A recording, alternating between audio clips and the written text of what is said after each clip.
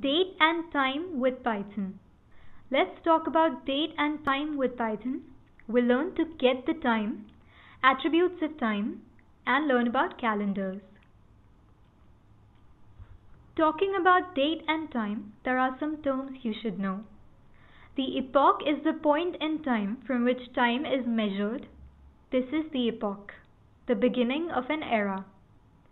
Ticks are floating point numbers in seconds. Ticks denote a time interval and are calculated from the epoch. Daylight savings time. In the agrarian culture, the clocks are set to be one hour faster, so they get an extra hour after work since they get up an hour before the actual sunrise. Time is represented by nine values. This is the time tuple. It's made of year, month, day, hour, minute, second, day of week, day of year, and the DST. Let's learn to get the time.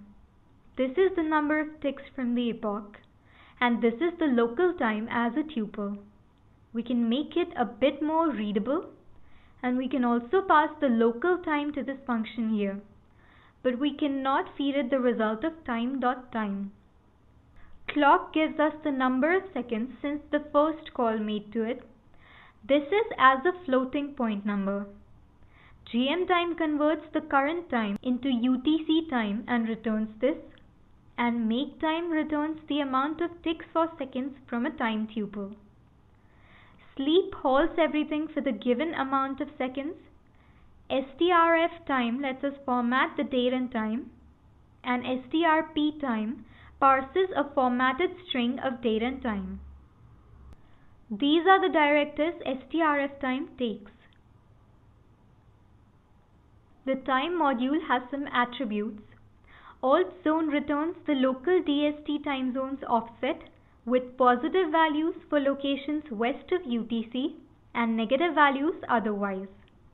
Time zone is like alt zone without DST and TZ name gives us the name of the local time zone with and without DST. Python also lets us deal with calendars.